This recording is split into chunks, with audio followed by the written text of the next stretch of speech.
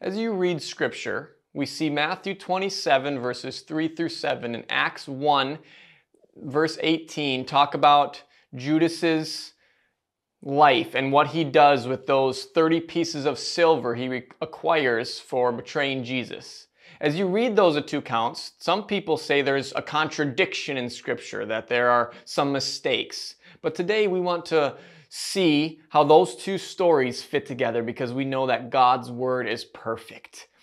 And so in Matthew 27, it says Judas took the 30 pieces of silver and went to the priests and tried to return the money. He threw them down in the temple, and then it says he left. But then in Acts chapter 1, it says that with the money he received from his wickedness, he went and purchased a potter's field. So which is it? Did he throw the money in the temple and leave it, or did he purchase the potter's field? Well, it's both, folks, because the, the scriptures are perfect.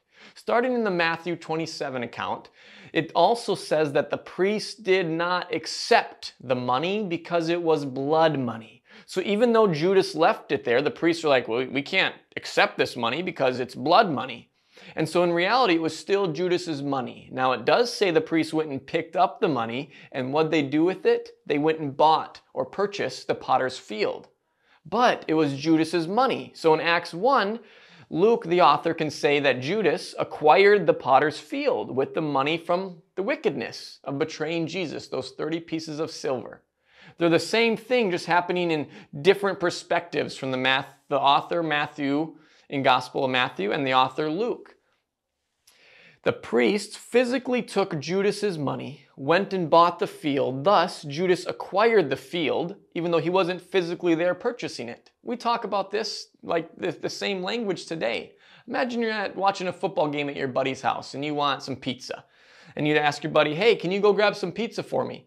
And the buddy's like, yeah, sure, just give me your credit card. And so you give your card to your buddy. He takes your money to the pizza shop buys the pizza, brings it back, gives you the pizza and your money or your card back.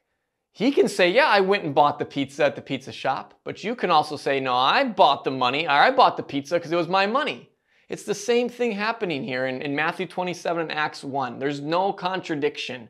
The priest took Judas's money that they did not accept because it was blood money, even though Judas left it there, went and purchased a field with Judas's money. Thus, Acts 1 can say Judas purchased the field with the wickedness, the money he received from his wickedness.